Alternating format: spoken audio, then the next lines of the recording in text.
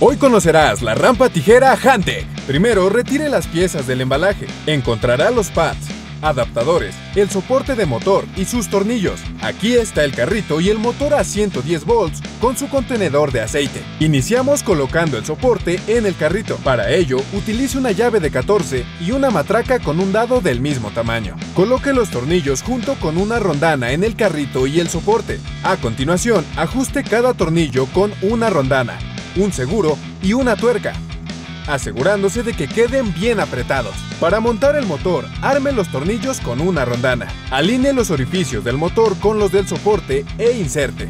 En la parte posterior, coloque el empaque, la arandela, el seguro y la tuerca. Asegúrese de que todos los componentes estén bien ajustados. Luego libere las mangueras, retire los tapones de la conexión y del tanque. Retire el tapón, inserte la conexión y ajuste con una llave de 14 y una de 3 cuartos. Aplique teflón e inserte la manguera. Utilice unas pinzas de presión junto con una llave de 3 cuartos para asegurar la conexión. Retire el tapón del otro extremo, aplique teflón en la conexión, gire y apriete adecuadamente.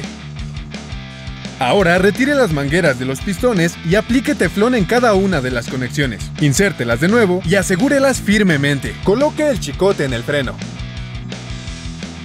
Para un funcionamiento óptimo, utilice el aceite Kimlux de Hante. Con una llave número 10, retire los tornillos del contenedor de aceite.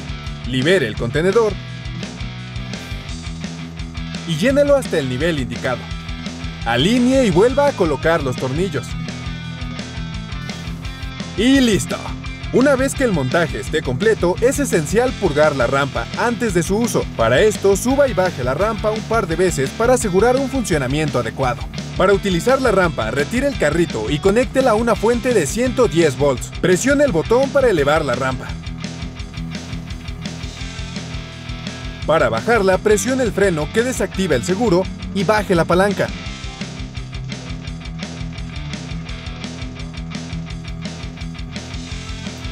Para elevar un vehículo, alinee los brazos y los pads de manera que el metal entre en el canal de goma.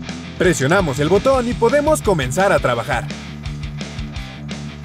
Una vez que hayamos terminado, presione el freno y baje la palanca. ¡Listo! Ahora ya conoces la rampa tijera Hante. Nos vemos en la próxima.